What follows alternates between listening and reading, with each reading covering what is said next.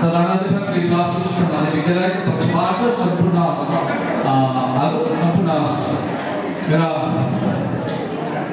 महानुभाव सँगसँगै अतिथिवर्गलाई मेरो आन्तरिक हृदयबाट स्वागत यहाँलाई जनाउन चाहन्छु र भन्नुपर्दा आजका खासमा भन्नुपर्दाखेरि आज दुई तरहको दुई तरिकाको प्रोग्राम थियो र सर्वप्रथममा हाम्रो प्रथम भागमा हाम्रो सदस्य बाबुहरू उहाँलाई विधायक समारोहको एउटा कार्यक्रम थियो।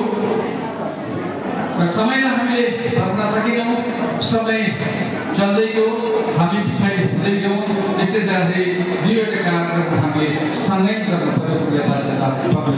पर्यो यहाँलाई दुवै कार्यक्रममा एकैमुष्टमा यहाँलाई म फेरि पनि यहाँलाई म स्वागत जनाउँदछु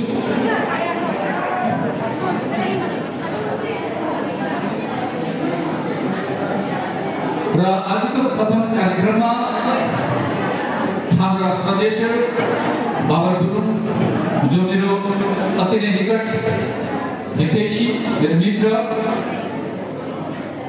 मैले मुखस्त जाने अनुसार उहाँ मेरो परिचय सानो बालकालदेखिको भएको हामी सिँगा तान्दै हापेन तान्दै फाटेको हापेन तान्दै हामी सँगै खेलेको हौँ।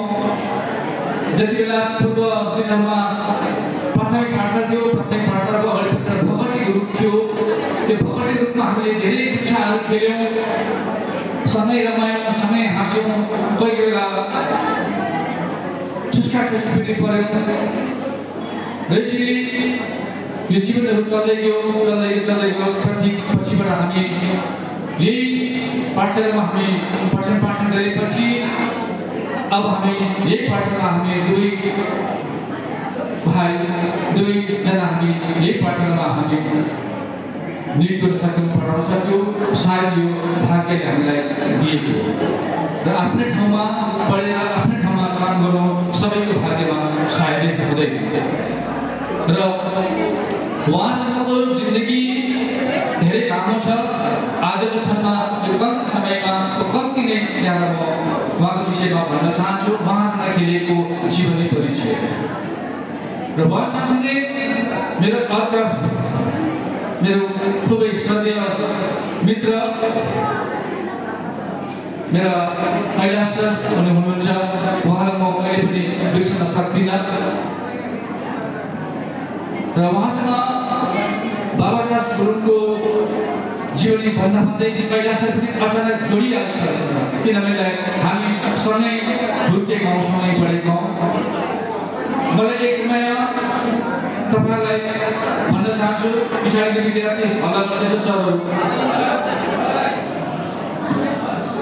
मलाई खोइ घडी लाउने थियो समयमा। अब मेरो आमा बाबु यही बगानमा पढेको त्यस समयमा रोजगार कति थियो होला र? धेरै मलाई घडी लाउने रहर थियो। र मैले कैलाशमा लगाएर रास्ता देखेँ घडी लगाएर देखेर आठ डब्लु नम्बर भन्ने एउटा घडी थियो। पुरानो घडी। र मलाई सपना थियो घडी लाउने। मेरो धोका थियो। र एक दिन मैले लाउँछु नि मैले भने र उहाँले थपक्क दिनुभयो म रातभरि घडी लगाएर सुत्ने बसेँ। सपना पनि घडा घडी सँगसँगै देख्न देखेँ र उहाँले मेरो घडी लाउने भएको उहाँले पुरा गरिदिनु भयो यसको लागि ताली। अब अर्थ भन्नुपर्दा जुन समयमा गरिबास प्राइमेरी स्कुलमा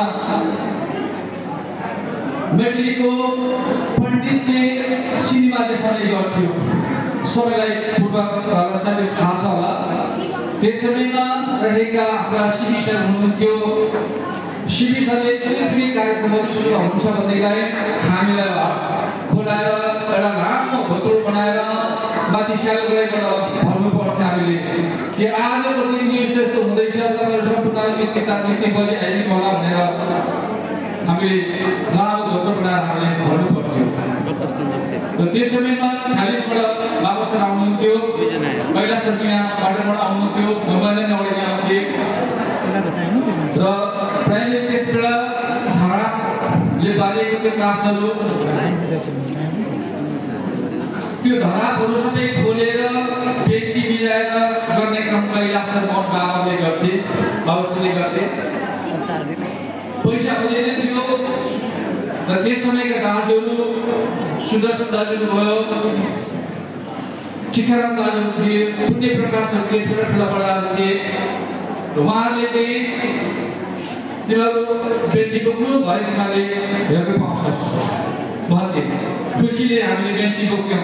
मरिन्जेल बोक्थ्यौँ हामीले पसिना पनि छुट्थ्यो र हामीले बेन्ची बोकेपछि सबै अब सुरु हुन लागेपछि अथवा पिक्चर कुनै पनि हुनु लाग्दाखेरि उनीहरू दैलोमा ताङ खाएर यसरी बस्थ्यो बस्नु पाउँदैन थियो हामी? बस्नु गर्दाखेरि एकछिन बस भन्थ्यो।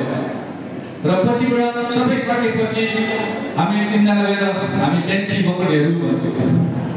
ए तिमीहरू बेन्ची पक्रेर जा भन्थ्यो उताबाट जा। भरे जा कताबाट जा भने चाहिँ पर्दाको पछाडिबाट जा भन्थ्यो। पर्दाको पछाडिपट्टि बेन्ची हुँदैन थियो। हामी तिनलाई लडेर पिक्चर हेर्थ्यौँ यस्तो कथाहरू उहाँसँग हाम्रो बितेको थियो। र यो बितेको कथाहरू उहाँसँग बितेका कथाहरू थोरै दुखान्त यथार्थ हो।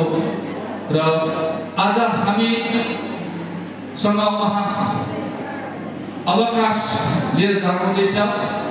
जानुभयो। र तपाईँ जति टाढो रहनु भए पनि हाम्रो आत्माभित्र तपाईँ सदैव नजिक रहनुहुनेछ।